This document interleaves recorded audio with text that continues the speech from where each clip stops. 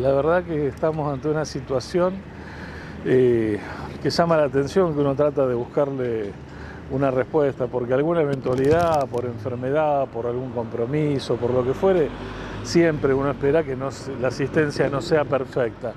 Pero estamos hablando de un promedio de gente de 150 personas por día que no están asistiendo. Hay días que hacer, por ejemplo, 200 turnos faltaron, después van al otro día o llaman y exigen. Y esto hay que tener en cuenta que viene asignado desde el Ministerio, que las vacunas vienen eh, nominadas, digamos. Entonces, uno hace, la gente de vacunación hace un informe, eleva, ese stock queda capturado para reprogramar a otros turnos y en realidad se deberían programar a 15 días. Eh, entonces, esto genera realmente mucho, mucho inconveniente. Y después se reciben las quejas, no me vacunaron, no me quisieron vacunar, pero en realidad lo que se necesita hacer es cumplir con la, hora y el día de la citación. Eso es un llamado que tiene, digamos, una, es prioritario eh, para que la gente entienda y aprovechar la posibilidad de la vacuna. Estamos siempre con esta tercera ola eh, que probablemente nos llegue y la única manera, una de las más importantes maneras de protegerse, no la única, es estar vacunados con las, con las dos dosis como para no enfermarnos y no seguir haciendo circular el virus. Ahí hemos eh, puesto en el Face eh, actualizado, digamos, el flyer para el, el tema de la vacunación.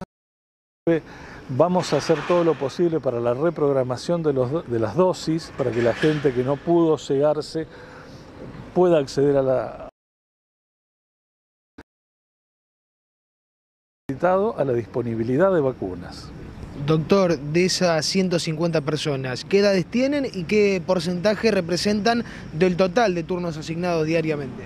Y vos imaginarte que son 1.300 vacunas por turnos citados por día son 200. O sea, estamos hablando de un porcentaje de un 20% aproximadamente. O sea, es importante. ¿Son jóvenes, gente grande?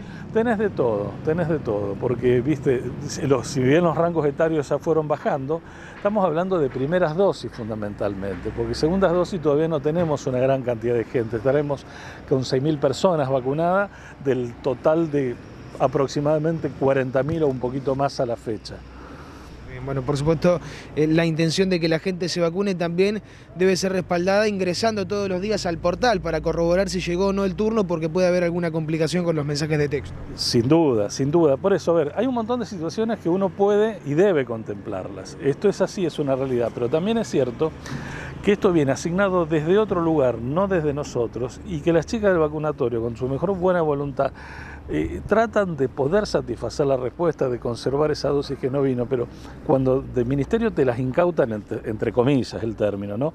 y lo reasignan a otra persona, y si no hay vacuna no te la puedo dar. En lo que hace el día de hoy, ¿cómo se está avanzando? ¿Sobre qué sector de la población? Hoy estamos en ese rango etario menores de 50 años y chicos mayores de 18. O sea, está mezclada la, la situación, pero bueno, es gente joven realmente. ¿Primeras dosis, segundas? Primeras dosis, primeras dosis de AstraZeneca.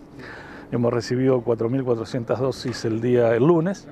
Eh, hoy estamos en jueves, es martes creo, sí, Sinopharm 1.700 y 4.400 de AstraZeneca, no se van a recibir más y se están programando aproximadamente 1.300 turnos diarios. Por último, doctor, ¿se podrían implementar postas espontáneas de vacunación o es inviable? Todo eso nos, nos viene directamente, toda, o sea, toda la modificación de las estrategias, a quién se vacuna, a quién no se vacuna, cómo se vacuna, eh, lo, lo determina el Ministerio.